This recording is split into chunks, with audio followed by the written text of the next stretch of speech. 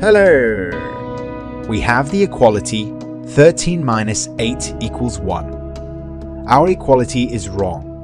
We need to move one match to make our equality correct.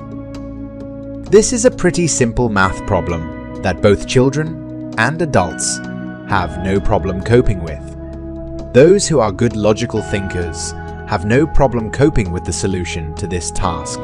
So pause the video and think.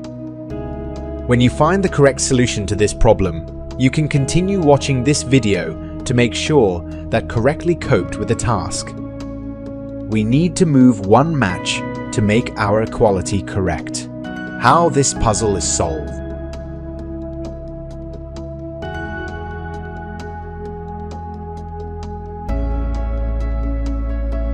To do this, all we need to do is move this match right here.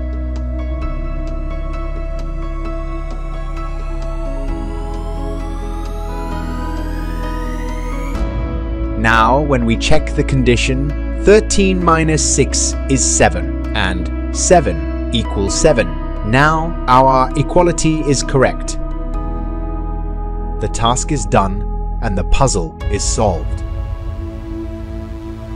Subscribe to our channel, and be sure to write in the comments whether you managed to solve the puzzle or not.